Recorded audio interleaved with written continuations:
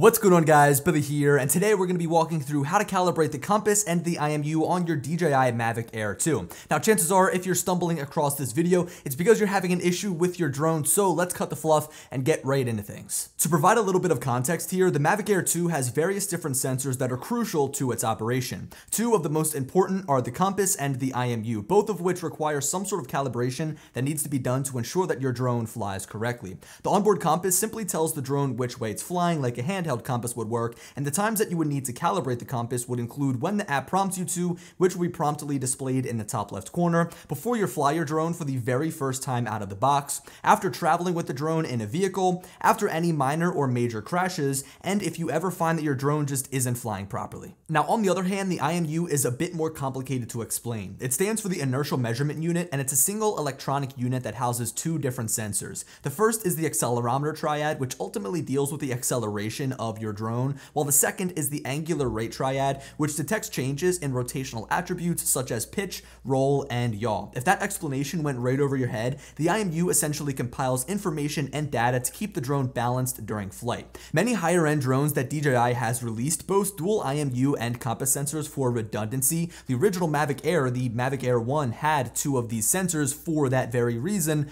but this time around with the Mavic Air 2, it doesn't have dual IMUs, which kind of leaves me scratching my head. It feels like a step in the wrong direction. So anyway, the times that you would need to calibrate the IMU include when the app prompts you to, which would be prominently displayed in the top left corner, before you fly your drone for the very first time out of the box, after any minor or major crashes, and if you find your drone just isn't flying properly. The frequency at which you perform these calibrations is entirely situational. There's some people out there that think you need to perform an IMU and a compass calibration before each and every single flight, although I find that to be overkill, so my method is to perform perform the initial compass and IMU calibration before my very first flight when I take the Mavic Air 2 out of the box. And then from there, I only calibrate them if I'm prompted to within the application. Typically, you'll be required to calibrate your compass a lot more often than the IMU. I usually just perform one IMU calibration and then I'm pretty much good for the rest of the time that I own the drone. But again, your mileage may vary depending on how you use this thing. So anyway, what I want to do now is get into how you calibrate these sensors, starting things off with the compass. So within the DJI Fly app, tap on the three dots in the top right corner,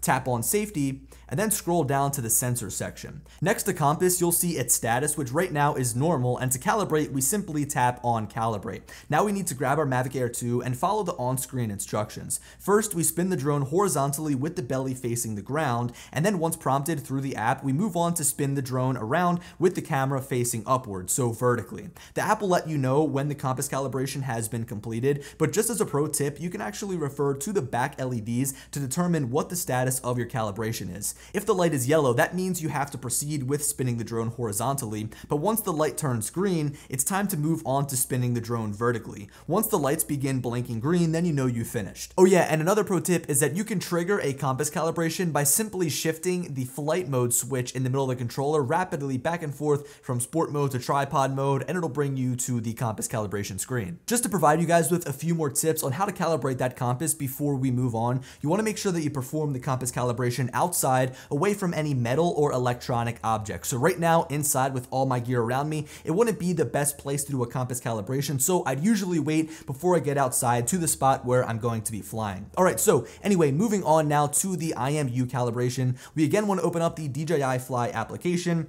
tap on the three dots in the top right corner, then go to safety and scroll down to the sensor section. Upon tapping on calibrate next to IMU, the app will then give you directions on how to orient your drone, and once each step has been completed, you'll move on to the next step. With all the legs folded together, we'll start by leaving the drone on its belly, then we'll roll it over to the right side, then we'll flip it over to the opposite side or the left side, and then we'll stand the drone up on the back side, then we'll lay it flat on its top side so the bottom portion of the camera is pointed upwards, and then once the calibration is completed, the aircraft will restart. It's really important that you guys calibrate the IMU properly because if you don't, you could be left with a drone that doesn't fly properly. So for example, if you don't calibrate the IMU properly and you're just hovering there, the drone could drift to the left or to the right or any which way because the IMU wasn't calibrated properly. Or if you're flying the drone straight ahead and you want the drone to fly in a straight line, it could veer to the left or the right because again, the IMU wasn't calibrated properly. So I'll leave you with one tip, kind of like I did with the compass calibration calibration,